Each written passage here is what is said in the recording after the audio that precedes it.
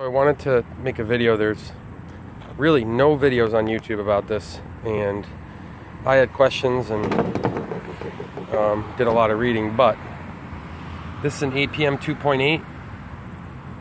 Now, in the eBay listing for this board, um, they showed pictures of the back of the board, um, soldering the pads and jumping them to use the external compass. Um, on the 2.8, you don't have to solder um, the pads.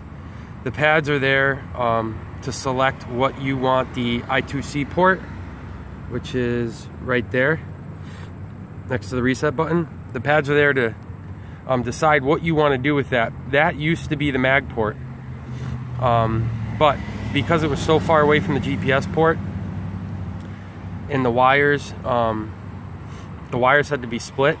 Um, they actually had relocated it to directly below the GPS port. So now you can plug your compass, um, I'm sorry, your GPS into the GPS port and your mag, ma magnometer, um, or your compass into the port directly beneath it. And you need to remove the jumper that comes on the pin closest to the GPS plug. There'll be a jumper, and that jumper means that you're, if it's in, you're going to use the um, internal APM 2.8 compass. And if it's out, that means you selected to use the um, external compass. And that compass, uh, um, I used it internal for a little while, but I noticed that once in a while I had, in a return to home, I, I was drifting in different directions.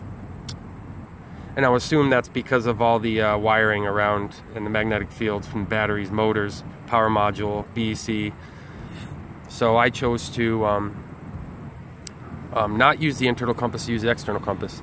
You still have to go into Mission Planner and select external compass and calibrate it, but I did want to put a video on that tells people um, the I2C port um, you can use for the compass, but um, you'd have to solder the pads in back and jump them out. Um, but why do that when you have the mag port available right below the GPS port? So hopefully that helps somebody because um, I could have used it when I was configuring.